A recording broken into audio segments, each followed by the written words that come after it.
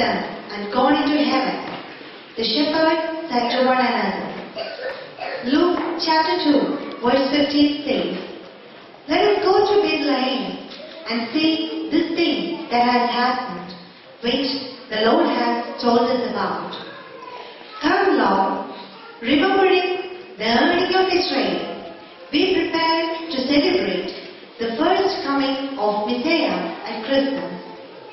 We also look forward to his second coming, and we invite him to come into our lives through his Spirit, bringing forgiveness, healing, calling, and power for service. The beloved Christmas hymn, O Come All Ye Faithful, is also a song about coming.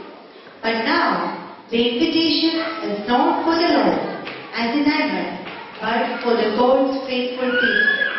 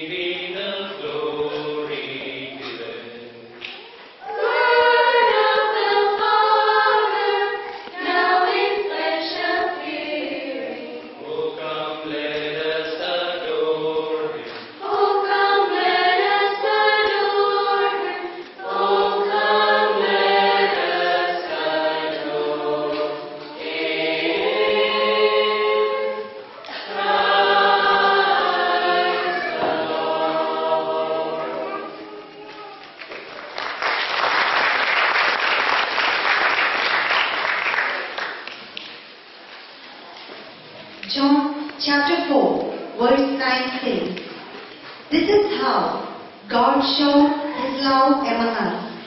He sent his one and only Son into the world that we might live through him.